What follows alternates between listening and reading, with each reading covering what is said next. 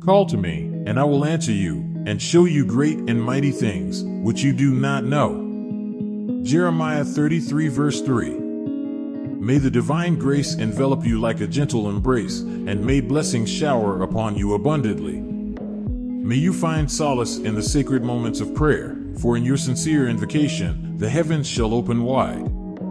With unwavering faith, may your voice echo through the realms, reaching the ears of the divine. As you seek guidance and understanding, may your supplications be met with divine illumination, revealing hidden wonders and untold wisdom. May this blessing be a reminder that you are never alone, for the divine is always present, listening intently to your heartfelt cries. Embrace the blessings that unfold as you journey forward, and may your life be a testament to the miracles that arise when you connect with the source of all creation. Amen.